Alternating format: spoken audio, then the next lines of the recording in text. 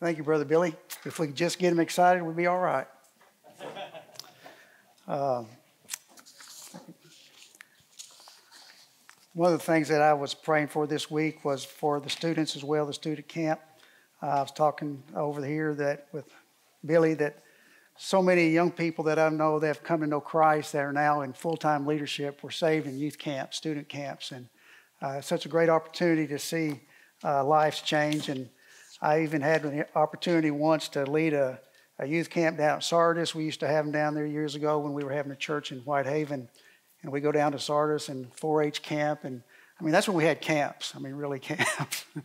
you know, instead of, I know I've been on some, some of these, and I'm not against it, but a lot of the student camps now are in, are in college campuses, and that's great too. But uh, I'm grateful for the opportunity. The verse that he read here, that, I, that was one of the verses that I was thinking about today, and we'll be talking a lot about the scriptures. And uh, of the Psalms, you know how many Psalms there are in the Psalms? 150. there's 150 Psalms. And uh, uh, there's one for about every occasion or need in your life. If you ever wonder what you need to hear a word from God, it's always been encouraging to me. The scripture of Psalm 119, verse 18, where it says, Open mine eyes that I may behold wondrous things from your law. One of the things that I need to do, and I think not just for me physically, but also spiritually, uh, I need to be alert when I come before God and try to seek His guidance for my life. Uh, I'm one of these guys, I've been working, I worked at Federal Express for a number of years. I got used to getting up early and, and having different hours. And, and so for me, getting up early is not that hard of a thing. And so I like I like the quietness of the morning. That's just me. I like finding time when I can be alone with God, but I do ask God to help me to physically be awake and to be alert. So when I begin to read the scripture, I'll understand what God's trying to teach to me. And so this is one of the prayers that I pray for myself before I even try to read the scripture. That I ask God to open my eyes that I may behold wondrous things from the law. And so, once again, I mentioned that from a physical point of view, as well as for a spiritual point of view. That I want to hear what God has for me and, and walk in obedience. And then another scripture there, he talks about delighting in the Lord. He said in Psalm 119, 6, Then shalt thou not be ashamed and have respect to all thy commandments. He talks about delighting in the scripture. And then in the next verse, in uh, number three in your in your uh, outline there is the family altar. Now I don't know about you as families. I know that um, one of the things that I try to do regularly with my wife. Our kids are grown and they're gone, but I always try to have prayer with my wife on a daily basis. I need that. We both need that. We have we've decided to say that's part of our daily routine, and and I, I never leave for work until we've prayed together that morning and that we spend time alone and and so this, this is something that we have done. And uh, if you have a second, turn over to Psalm 78. Let me get you to do that to Psalm 78. And I want to talk particularly here about the issue with men being the spiritual leaders of their homes. You know, all you have to do is watch the news about Memphis on a regular basis. We know that there's a, there's a missing element to the young people in, in, in our communities. And a lot of it is because there's not a father there to take the responsibility of what they're supposed to be doing. And in Psalm 78, verse 1, the scripture says, Give ear, O my people, to my law, and incline your ears to the words of my mouth, and I will open my mouth in a parable. And we know that Jesus spoke in parables. Jesus would use an earthly illustration for a, a spiritual application in our lives. And so he talks about this here, and he says, in Psalm 78 Give ear, O my people, to my law, and incline your ears to the words of my mouth. And I will open my mouth in a parable, and I will utter dark sayings of old. And what he's saying here is this is nothing new that we need to know. Amen? This is nothing new. We just need to go ahead and apply what we've already heard and make the application to our lives. He said, he says, I'll open my mouth in a parable. I will utter dark sayings of old. These are things that have been spoken before which, now get this, which we have heard and known, and our fathers have taught us. So he's telling us this is nothing new. We've already been taught what we need to know. Amen. We just need to do it. We just need the application. And he says, We will not hide them from their children. And he says, Fathers there. You may have a different interpretation or uh, of that. I saw ancestors, but I like the idea in the scripture here where it talks about the fathers. He said, And our fathers have told us we will not hide them from their children, telling to the generation to come praises of the Lord. And so I just want to read what I, what I wrote here. He says, My people hearing my teaching, listen, listen to the words of my mouth. I will open my mouth in a parable. I will utter hidden things from of old, things that we have heard and known, things of our ancestors have told us.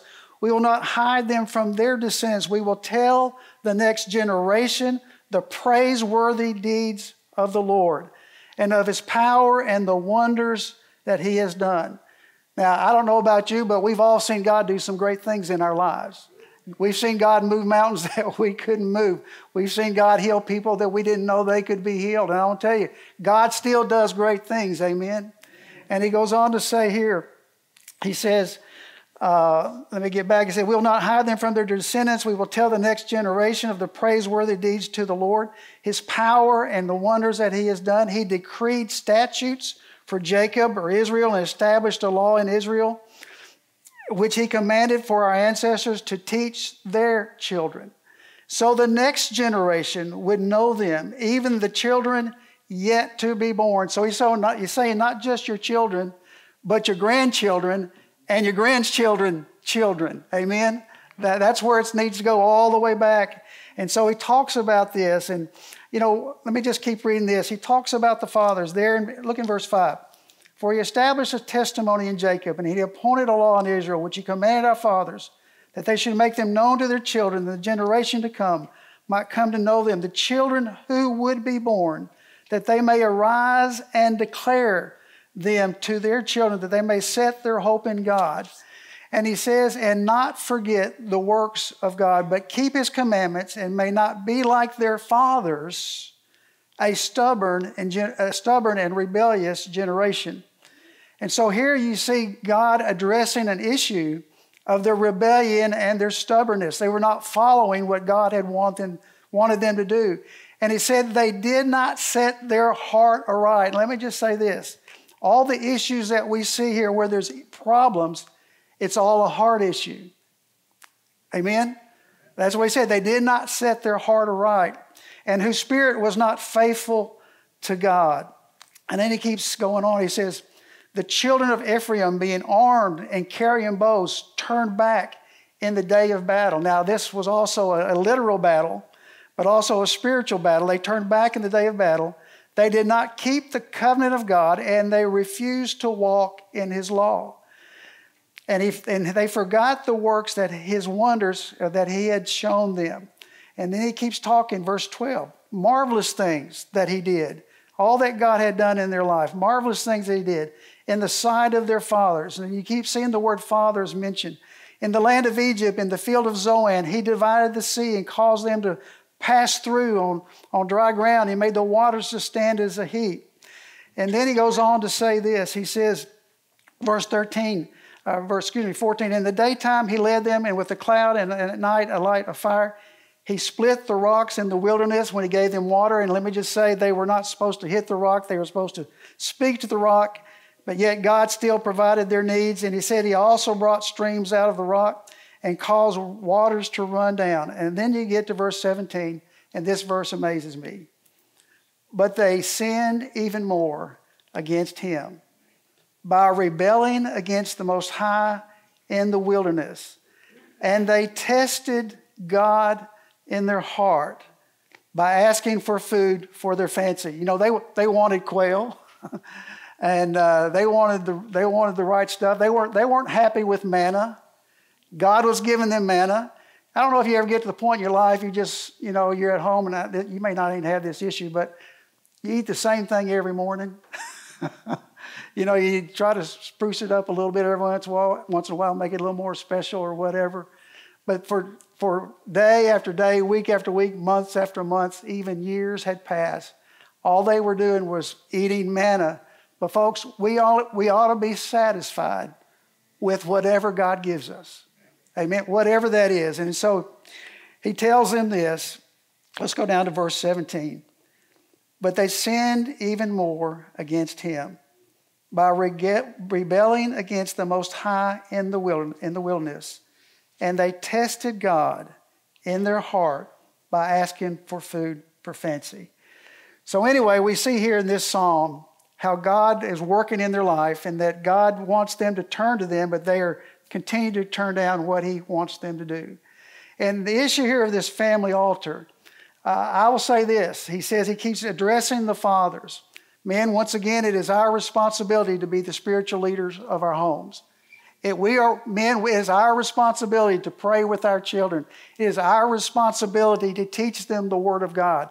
It is our responsibility as fathers to be the spiritual leaders at home and at church and make sure that we're living the life that we're saying that we're living. And so, anyway, let me just say this talking about the fathers. Uh, look at verse 17. They sinned even more against him, rebelling most in the Most High, asked for food for fancy. And let me just say this. I heard, I saw where David, W.A. Criswell made a statement years ago.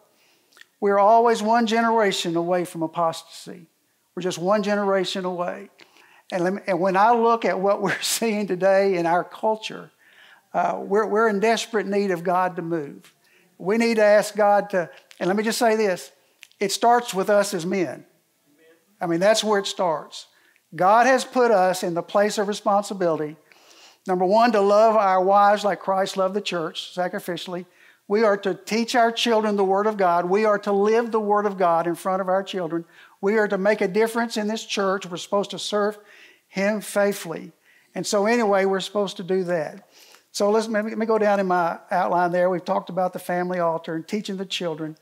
And then the Word of God is to be memorized. Uh, I was given a book recently from the pastor, and I, I was looking through it the other day, and and we, we were, we've been talking about discipleship and, and, and, um, and memorizing scripture as part of our, uh, what we ought to do, amen, as Christians. We ought to memorize the scripture. And uh, let, me, let, me, just, let me just mention this uh, about memorizing scripture. Uh, we need to hide it in our heart, amen. Uh, let, let me go to the scripture, Psalm 119. Go over a little bit. 119 to verse 11.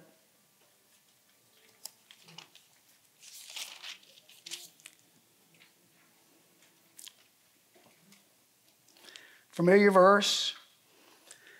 Your word I have hid in my heart. We ought to memorize the scripture. You know, I was thinking today, I remember years ago, I was working with young people, with, students, with youth, and I, I, remember we, we had had some challenges that we challenged our, our youth to do, and and uh, was during the Salt Block Ministries when we were doing that in Whitehaven, and I remember I, I remember we uh, we gave our youth a T-shirt if they could memorize Psalm one, which is a great scripture, and let, let's look at it for a second. It said, Blessed is the man who walks not in the counsel of the ungodly, nor stands in the way of the sinners, nor sits in the seat of the scornful. But his delight is in the law of the Lord, and in his law he meditates day and night. And he shall be like a tree planted by the rivers of water. It brings forth its fruit in its season, and its leaves shall not uh, uh, drive away as chaff. He said, but we shall prosper but all are like chaff which the wind drives away. Therefore, the ungodly shall not stand in judgment, nor sinners in the congregation of the righteous. For the Lord knows the way of the righteous, but the ungodly will perish. So, anyway, the Bible says here that God will bless an individual. I would encourage you to read Psalm 1 Blessed is the man. And so, anyway, he says here this is what we should do. And then finally, out of, um, out of, out of out of Luke, last, this is the last scripture I'm going to turn to, but out of Luke chapter 24, uh, we're going to look at another verse about Jesus and, and walking with Jesus. Uh, in Psalm 20, excuse me, Luke 24, let me get there real quick.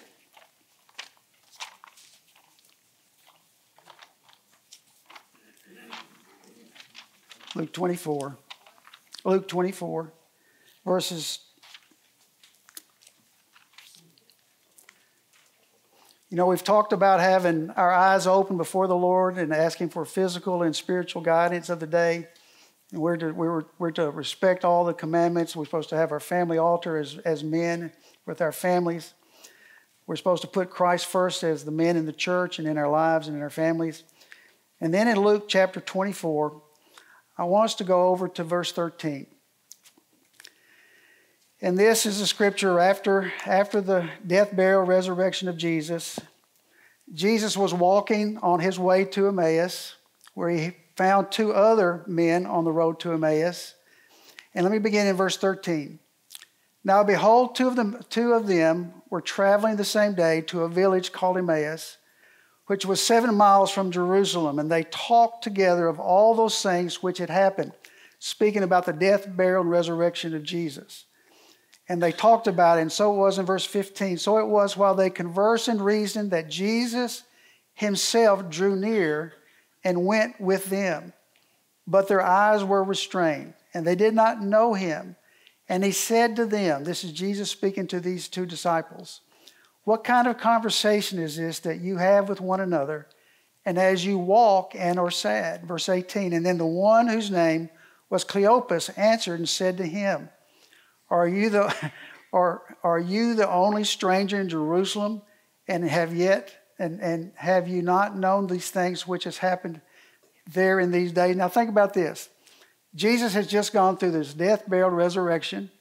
He's already performed some other, he's had meetings, he's been around groups of people, large groups. And so he, he decides, Jesus decides to join up beside these two disciples that weren't sure about what was going on.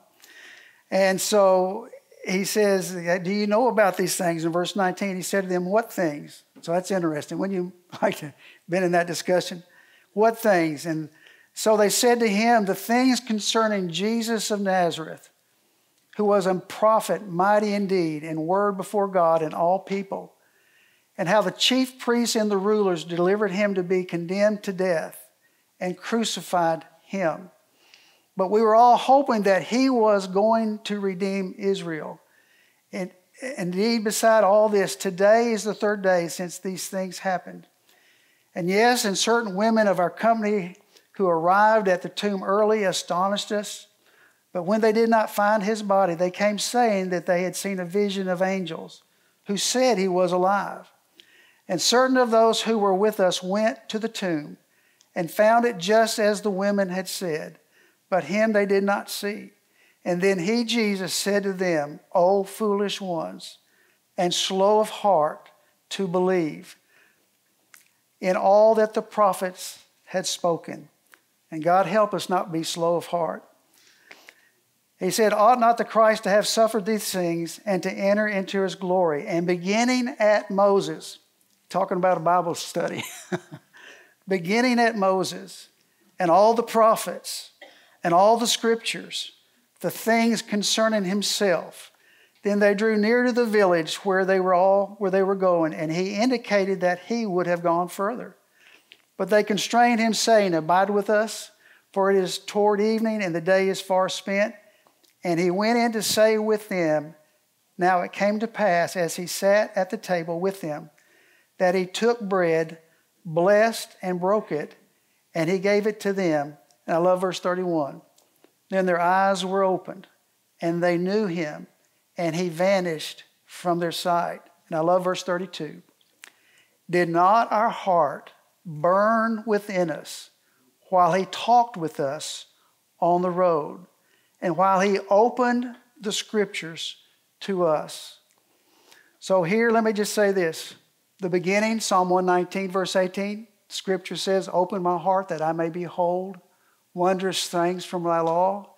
And then when we have the opportunity to sit through all the things that God has taught us, I love verse 32.